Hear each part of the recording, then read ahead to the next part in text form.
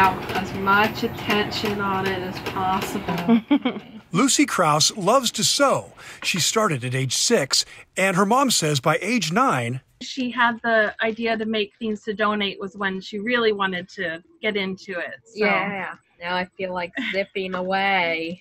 Lucy, who has autism, used to think her kindness made her weak. But then I realized that my kindness is what makes me stronger. Lucy's strength has led her to sew more than a thousand quilts and stuffed animals to donate to worthy causes over the past four years. She just has great ideas, and we We've always said she's like a girl with 10 hearts in one. With the help of her mom and grandmother, she spread the love of warmth and comfort.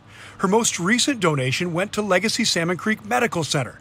It was a big one. She said, I'll be here, but you better have a cart because we've got 150 stuffed animals and quilts. Shirley Gross works with Legacy Salmon Creek's foundation. She says Lucy's creations go to comfort kids during their hospital stays. Who doesn't love a bunny? and it's soft flannels, which is really nice. Shirley loves the donations and thinks a lot of Lucy too. It gives you hope to know that there are young people who who I think extraordinarily think outside themselves to be able to think about other kids. This teenager decided to donate to the hospital after going to the ER suffering from an allergic reaction. They didn't have any stuffies to give, so I was thinking, wouldn't it be wonderful if someone could make some for them? Which one are you sewing? The gingerbread man.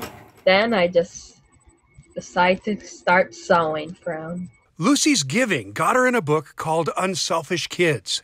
She earned a spot because of who she is.